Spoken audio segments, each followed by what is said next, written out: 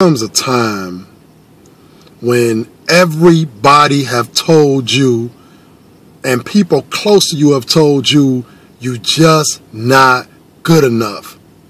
Whatever it is you're trying to do, you have not the skill level to achieve it. Many of us have been in that situation where somebody have just told us you are not good enough to accomplish the goal that you set out. So you might as well just stop now. Just forget it.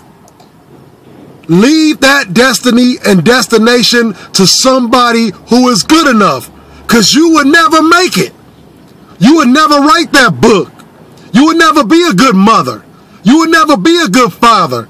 You would never succeed in that job. You would never succeed in that business. You are just not good enough. The only difference between those who believe and those who don't is they accept that garbage. They accept that mess. They give that person who's telling them they're not good enough credit. They give them credence. They let them know you are an authority over me.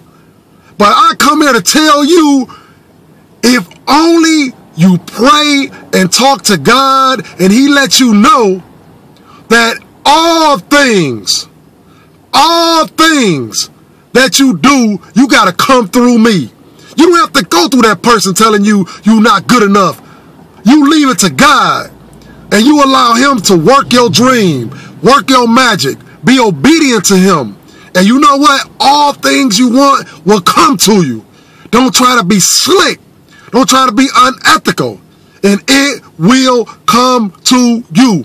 I'm telling you, I am a believer. I understand. I've had many people tell me you are just not good enough. Leave the dream and destination and destiny to someone else. But you got to believe it.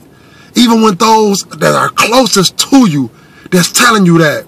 Some of you all out there, come on, let's be real. Real talk. You got your family, you got your mamas, you got your daddies, your grandmamas, your brothers, sisters. Some of us and people even got our wives telling us that dream that you have, you might as well go back to sleep because you would never awaken to see that dream materialize.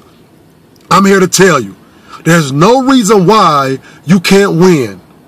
Please continue to follow me on YouTube, on Facebook, and on Twitter. Until next time, stay blessed.